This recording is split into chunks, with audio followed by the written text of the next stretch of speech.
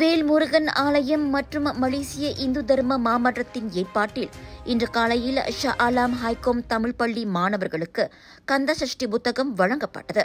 Hicom Tamil பள்ளியின் பெற்றோர் ஆசிரியர் சங்கத்தின் ஒத்துழைப்போடு நடைபெற்ற இந்த நிகழ்ச்சியில் குலுவாங் வேல்முருகன் ஆலயத்தின் இளைஞர் குழுவின் தலைவர் பாலகணேஷ் பொன்னையா மலேசிய இந்து தர்ம மாமன்றத்தின் தலைவர் ராதாகிருஷ்ணன் ஹைகோம் தமிழ் பள்ளியின் தலைமை ஆசிரியை யோக நாயகி ஆகியோரும் கலந்து கொண்டனர்.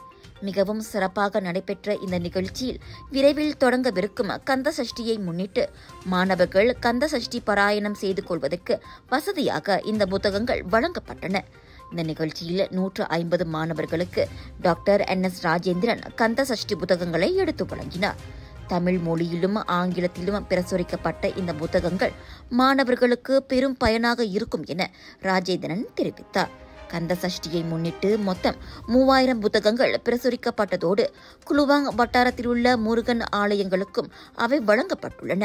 இது தவிர நாட்டிலுள்ள தமிழ் பள்ளி மாணவர்களும் பயனடைய வேண்டும் என்பதற்காக முதல் கட்டமாக ஹைகோம் தமிழ் பள்ளிக்கு இந்த புத்தகங்கள் வழங்கப்படுவது மகிழ்ச்சியை அளிப்பதாக மலேசிய இந்து மாமன்றத்தின் துணைத் தலைவர் ரிஷிகுமார் வடிவேலு தெரிவித்தார்.